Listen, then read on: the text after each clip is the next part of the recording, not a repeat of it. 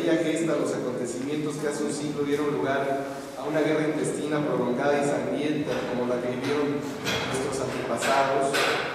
es buen momento, me parece, para decir que en estos años han corrido las aguas y que socialmente nos hemos forjado muchas imágenes de aquella revolución como guerra civil, como régimen que todo lo permeó y cuya influencia nos llega aún de muchas maneras,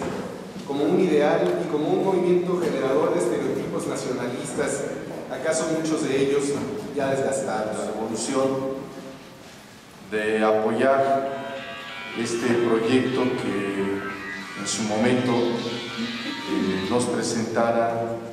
eh, Artemio y que desde un principio eh, nos, nos, causó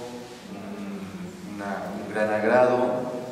y no dudamos en ningún momento en eh, aprobar la realización del mismo. Particularmente en el, en el, campo de lo que es la obra editorial, eh, inicialmente, lo comentaba en la presentación de algunos libros hace algunos días, se habían generado expectativas en términos de que se iba prácticamente a inundar el mercado de, iban a aparecer eh, cientos de libros con temáticas, los historiadores iban a estar a la casa de los eh, editores, de las instituciones, para que se publicara. Y bueno, pues la realidad es que no ha sido así. La realidad es que eh, ha habido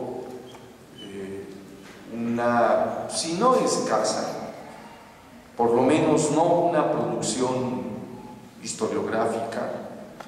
eh, como se esperaba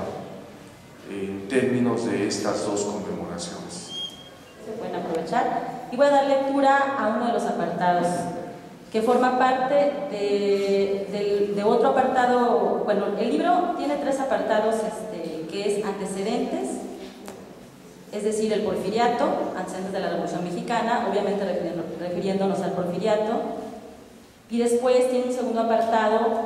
un gran segundo apartado que se llama la Revolución Mexicana, que es del apartado del cual voy a extraer algunos párrafos,